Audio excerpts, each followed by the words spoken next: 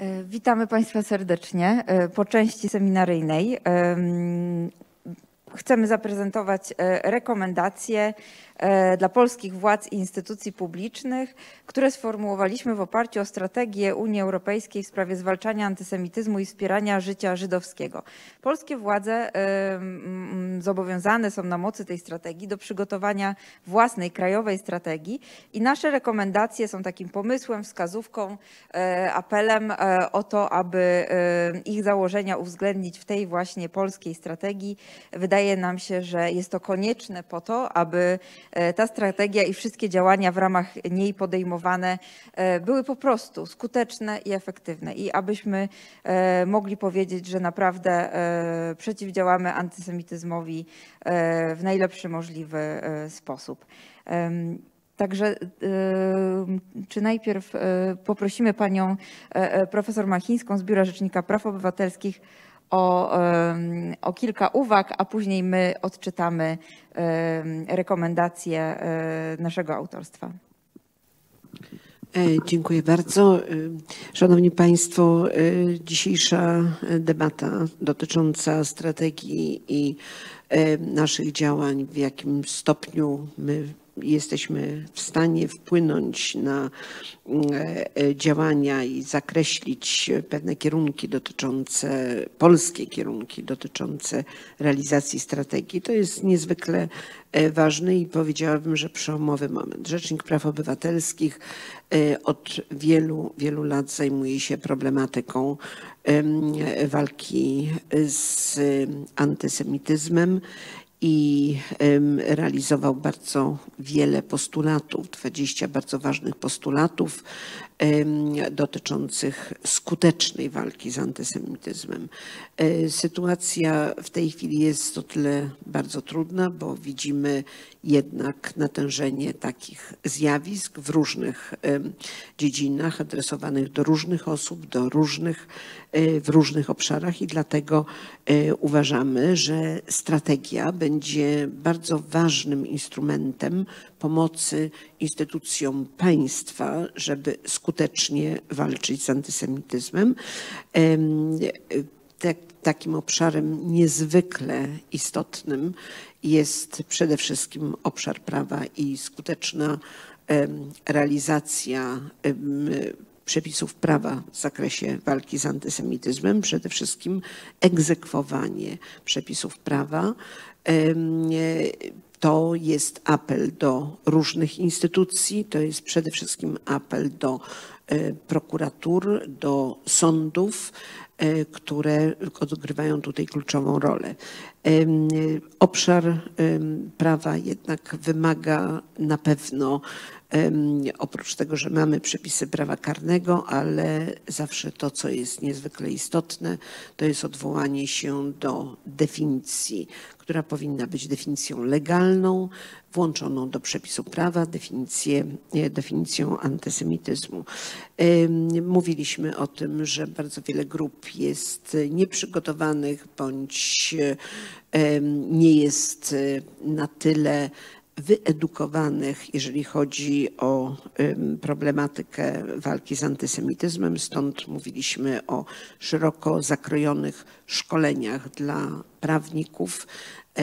Mówiliśmy o tym, że te szkolenia powinny być szkoleniami obejmującymi nie tylko prawników, ale również e, szkoły wyższe, na aplikacjach prokuratorskich, sędziowskich, radcowskich. Ten obszar powinien być, zagadnień powinien być bardzo wzmocniony. Ogromną wagę tutaj przywiązujemy do, do mm, e, władz lokalnych i regionalnych, stąd też taki nasz apel o wzmocnioną współpracę z Kongresem Władz Lokalnych i Regionalnych, jeżeli chodzi o y, wzmacnianie y, działań przeciwko antysemityzmowi.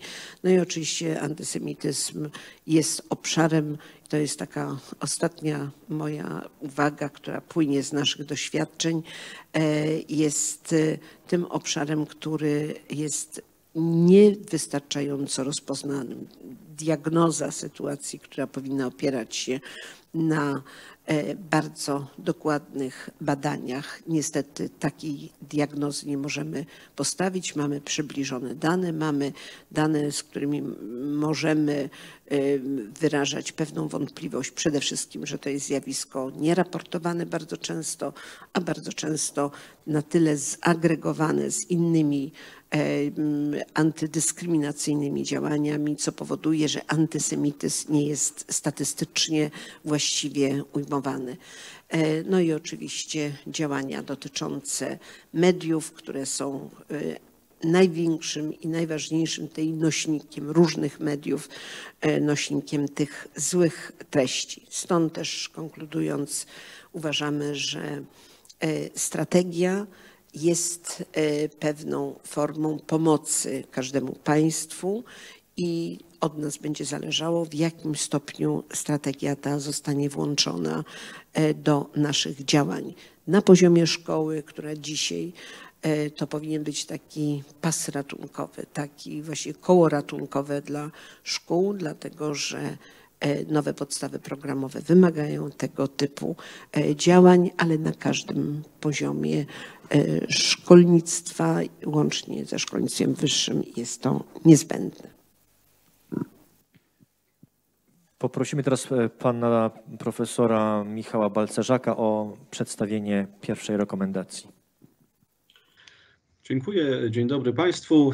E, za chwilkę przejdę do czytania pierwszej rekomendacji, tylko wspomnę o tym, że ona dotyczy takiego spojrzenia szerszego niż tylko na Mm, strategię Unii Europejskiej, która tutaj jest taką centralną osią, ale powinniśmy też pamiętać, że mm, e, są inne zobowiązania, czy pokrewne zobowiązania w tej dziedzinie, które ciążą na Polsce z racji też członkostwa w Radzie Europy, w związku z tym również, że są pewne zobowiązania traktatowe. I to jest akapit, który o tym przypomina brzmi w ten sposób. Strategia i konkretne działania władz RP zmierzające do przeciwdziałania antysemityzmowi powinny uwzględniać standardy Europejskiej Komisji przeciwko rasizmowi i nietolerancji oraz Komitetu ONZ do spraw likwidacji dyskryminacji rasowej. Należy w szczególności zwrócić uwagę na zrewidowane zalecenie ECRI nr 9 dotyczące polityki w sprawie zapobiegania i zwalczania antysemityzmu, przyjęte 1 lipca 2021 roku. Istotne są również zobowiązania w zakresie zwalczania antysemityzmu, wynikające dla Polski z konwencji o likwidacji dyskryminacji rasowej z 1966 roku. Podkreślamy konieczność realizacji zaleceń CERT e, sformułowanych w 2019 roku po rozpatrzeniu e, przedstawionego przez Polskę sprawozdania z wykonywania postanowień wyżej wymienionej konwencji. Kwestia działań podejmowanych w Polsce w celu zapobiegania i zwalczania antysemityzmu powinna zostać uwzględniona w kolejnych sprawozdaniach składanych przez rząd RP do Komisji ECRI i do Komitetu CERT. Działania te powinny obejmować między innymi, to są tylko przykłady, bo y, tych zaleceń jest oczywiście więcej, ale wybraliśmy tutaj następujące. Zintensyfikowanie kampanii publicznych, w tym w internecie, służących zwalczaniu mowy nienawiści, podżegania do nienawiści i przestępstw nią motywowanych, oraz podnoszenie świadomości społecznej na temat dostępu do pomocy prawnej i środków prawnych, a także zapewnienie skutecznego śledztwa, ścigania i karania sprawców, co będzie stanowić skuteczną zachętę dla obywateli do zgłaszania przypadków mowy nienawiści i przestępstw motywowanych nienawiścią. Następnie publiczne potępianie i dystansowanie się od mowy nienawiści ze strony osób publicznych, w tym polityków i dziennikarzy, oraz wysyłanie jednoznacznego sygnału do dziennikarzy i nadawców, że ciąży na nich szczególna odpowiedzialność związana z unikaniem posługiwania się mową nienawiści i stereotypami w kontekście mniejszości, a także podejmowaniem działań przeciwko właścicielom stron internetowych promującym nienawiść rasową. Następnie znowelizowanie artykułu 53 paragraf 2 kodeksu karnego w kierunku uznania motywacji rasistowskiej przy popełnianiu przestępstwa za okoliczność obciążającą. E, tak, to tyle z mojej strony. Dziękuję.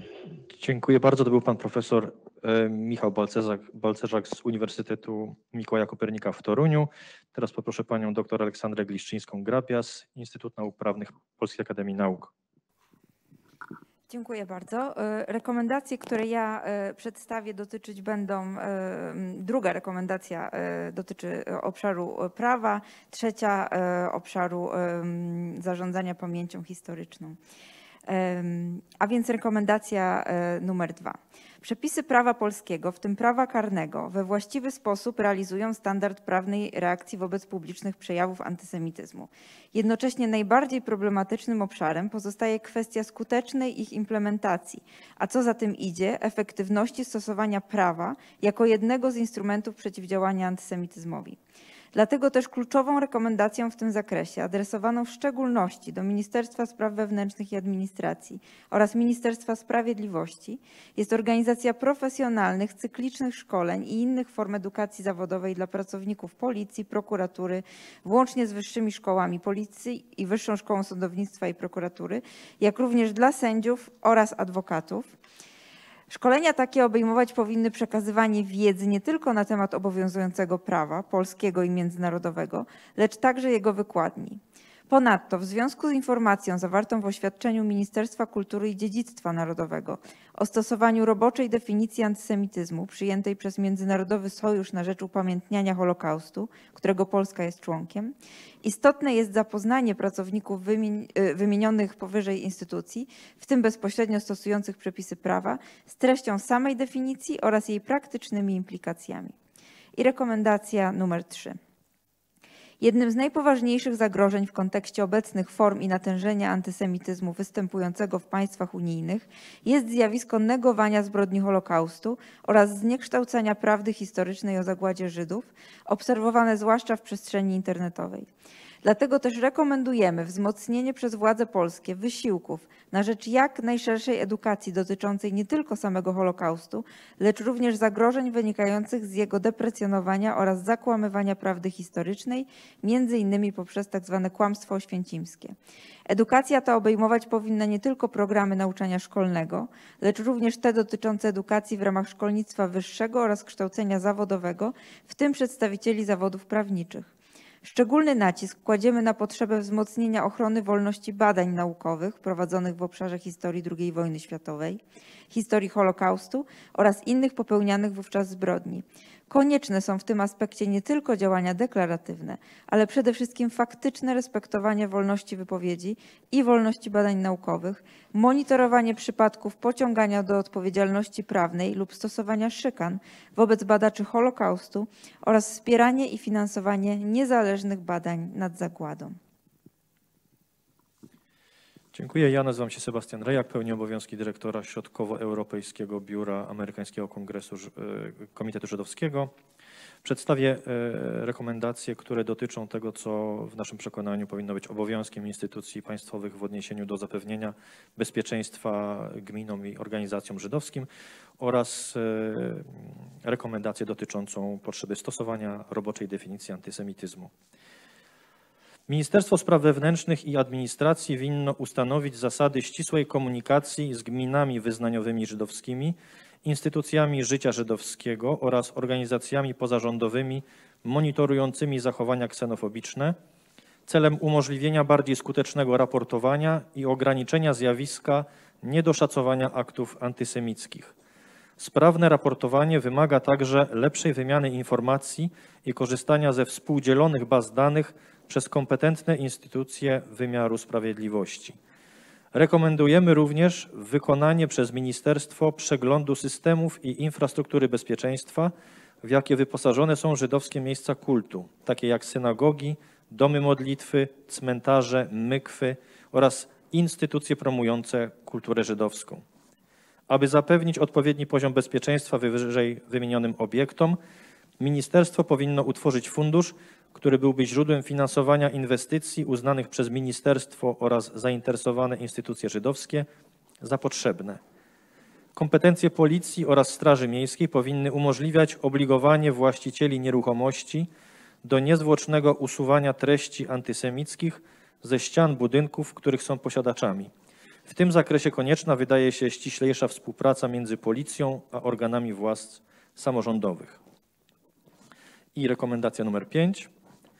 Stosowanie roboczej definicji antysemityzmu winno być zalecane przez Ministerstwo Edukacji i Nauki. Jako praktyczne narzędzie w procesie kształcenia młodych ludzi definicja ta powinna być stosowana przez szkoły, kuratoria oświaty i ośrodek rozwoju edukacji, a także uwzględniana przy redagowaniu podręczników podlegających zatwierdzeniu przez ministerstwo. Apelujemy także do wszystkich szkół wyższych w Polsce oraz do konferencji rektorów akademickich szkół polskich o przyjęcie roboczej definicji antysemityzmu i rozpowszechnianie jej wśród kadry profesorskiej i studentów. Teraz e, przekazuję głos panu profesorowi Rafałowi Pankowskiemu, Kolegium Civitas e, i jest też e, pan profesor Pankowski prezesem Stowarzyszenia Nigdy Więcej. Dziękuję bardzo. Rekomendacja numer 6 brzmi następująco. Władze polskie powinny adekwatnie i sprawnie reagować na przejawy głoszenia antysemityzmu w przestrzeni internetowej oraz w mediach. Przejawy propagowania w sieci nienawiści motywowanej różnicami na tle narodowościowym, etnicznym lub wyznaniowym powinny być usuwane z przestrzeni publicznej i ścigane z urzędu zgodnie z artykułami 256 i 257 Kodeksu Karnego. Obecnie niestety działania takie pozostają w dużej mierze bezkarne. Kompetentne władze powinny zachęcać platformy internetowe, media społecznościowe i platformy sprzedaży online do szybkiej reakcji i eliminowania treści antysemickich i rasistowskich. W ostatnim okresie antysemickie teorie spiskowe często współwystępują z treściami antyszczepionkowymi i negowaniem pandemii, co stanowi o ich szczególnej szkodliwości społecznej i wymaga pilnej reakcji ze strony platform internetowych i instytucji, w których kompetencji leży egzekwowanie zasad publikowania treści w przestrzeni publicznej.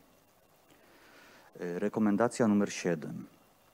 Władze polskie, w szczególności Ministerstwo Kultury i Dziedzictwa Narodowego oraz instytucje mu podległe, powinny natychmiast zaprzestać finansowania organizacji radykalnie nacjonalistycznych, które obecnie lub w przeszłości rozpowszechniały opinie antysemickie. Krajowa Rada Radiofonii i Telewizji, Rada Mediów Narodowych, Rada Etyki Mediów i inne instytucje odpowiedzialne za demokratyczny ład medialny powinny jednoznacznie reagować i potępiać przejawy antysemickiej propagandy i stereotypów w mass mediach, zwłaszcza w mediach publicznych finansowanych przez polskiego podatnika.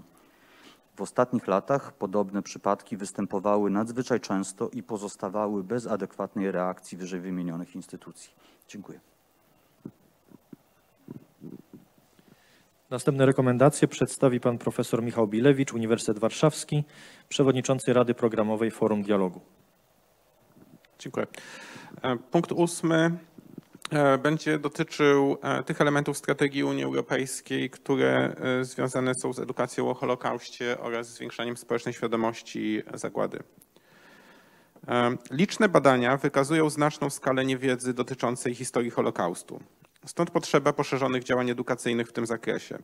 W propozycji nowej podstawy programowej nauczania przedmiotów historia oraz historia i teraźniejszość znalazła się część poświęcona zbrodni Holokaustu. Wśród przykładów dotyczących postaw społeczeństwa polskiego wymieniono jednak wyłącznie postawy heroiczne. Sprawiedliwi, Żegota, misja Jana Karskiego.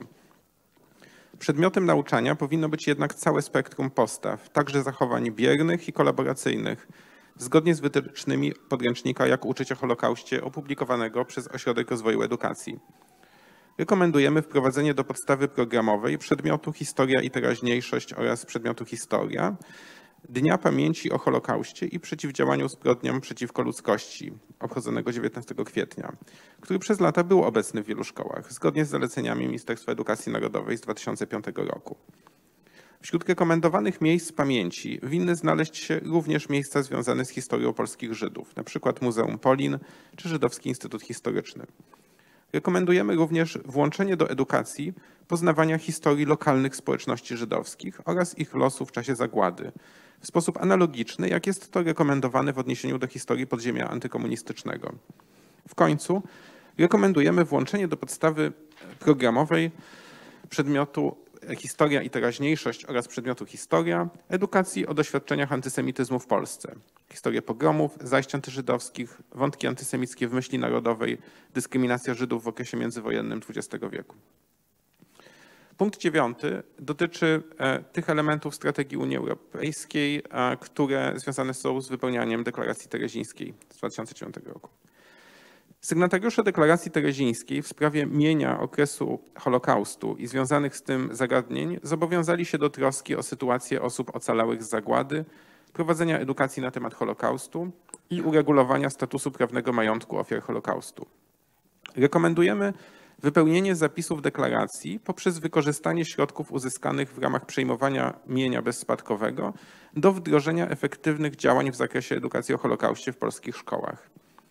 Jednocześnie w kwestiach związanych z uregulowaniem kwestii mienia spadkowego, m.in. ustawy z 11 sierpnia 2021 roku nowelizującej kodeks postępowania administracyjnego, apelujemy o komunikowanie wprowadzonych zmian zgodnie z ich faktycznym charakterem, jako dotyczących wszystkich roszczeń reprywatyzacyjnych, a nie jedynie bądź głównie roszczeń ze strony spadkobierców żydowskich i reprezentujących ich organizacji. Kolejną, kolejną rekomendację przedstawi pan Dariusz Dziekanowski, przewodniczący klubu wybitnego reprezentanta działającego przy Polskim Związku Piłki Nożnej. Dziękuję. Rekomendacja dotyczy sportu. Punkt 10. Rekomendujemy organizację przez Ministerstwo Sportu i Turystyki szkoleń dla kadr instruktorskich i trenerskich, którym celem będzie uwrażliwienie na kwestie antysemickich stereotypów, symboli i haseł, które wciąż bywają obecne podczas imprez sportowych. W tym zakresie ważna jest współpraca z Radą do Spraw Kształcenia i Doskonalenia Kadr Kultury Fizycznej. Rekomendujemy także Polskiemu Związku Piłki Nożnej podjęcie zdecydowanych działań zmierzających do eliminowania zachowań antysemickich w środowiskach kibiców, innymi poprzez dodanie odpowiednich zaleceń w podręcznikach, w podręcznikach licencyjnych Polskiego Związku Piłki Nożnej dla klubów ekstraklasy i niższych lig oraz włączenie do obowiązków klubowych koordynatorów do spraw współpracy z kibicami zadania polegającego na edukowaniu środowisk kibiców, środowisk kibiców w zakresie przeciwdziałania antysemityzmowi. Dziękuję. I ostatnią rekomendację ponownie przedstawi pan e, profesor Rafał Pankowski. W celu zapewnienia implementacji unijnej oraz krajowej strategii należy powołać pełnomocnika do spraw zwalczania antysemityzmu i wspierania życia żydowskiego. Aby umożliwić pełnomocnikowi skuteczne działanie, urząd ten winien być niezależny od organów politycznych. Konieczne jest także zapewnienie mu odpowiadających kompetencjom warunków administracyjnych i finansowania. Dziękuję. E, Bardzo wszystkim Państwu e, dziękuję za przedstawienie rekomendacji. Jest z nami także za pośrednictwem e, komunikatora online naczelny rabin Polski, pan Michael Szudrich. Bardzo prosimy o kilka słów komentarza. Okej. Bardzo dziękuję, Sebastian. Bardzo dziękuję. To, co ja słyszałem teraz, czy czytam wcześniej, to jest coś, które jest merytoryczne, to jest praktyczne, to jest dokładnie jak jest potrzebne w. Po, my, to jest ważne dla społeczeństwa żydowskiego i ba, też bardzo ważne na całej Polsce. Polska, jak demokratyczny kraj, musi walczyć, upewnić e, ubezpieczenie wszystkich ich obywateli i najbardziej też mniejszości. Takie nasze rekomendacje dzisiejsze tak będzie upewnić, czy będzie bronić e, prawo e, społeczności żydowskiej być tutaj w Polsce, jak my jesteśmy tutaj prawie tysiąc lat. I bardzo chcę podziękować wszystkim, którzy e, dzisiaj na seminarium i na rekomendacja, który jest, jak mówiłem, bardzo ważny społeczność żydowskiej i nawet bardziej ważny na cały kraj. Dziękuję. Bardzo serdecznie dziękuję panie rabinie. E, Za chwilkę będziemy kończyć dzisiejszy e, briefing e, dla prasy. Chciałbym tylko podkreślić fakt, że zarówno seminarium, jak i mm, ten briefing i przedstawienie rekomendacji odbywają się pod honorowym patronatem Rzecznika Praw Obywatelskich, z czego bardzo się cieszymy. E, Jak Państwo słyszeli, e, spektrum tych e, zaleceń, rekomendacji jest dość szerokie, w szczególności koncentruje się na tematyce edukacji, wymiaru sprawiedliwości i sportu. Te rekomendacje zostaną przekazane wszystkim redakcjom mediowym. E, Będziemy także dalej nad nimi pracować e, w ramach konsultacji z e, organizacjami żydowskimi i organizacjami pozarządowymi i zostaną one w najbliższym czasie przekazane kompetentnym władzom rządowym, samorządowym. Jeszcze raz wszystkim serdecznie Państwu dziękuję. Państwu, którzy do nas dołączyli za pośrednictwem internetu również. Do widzenia.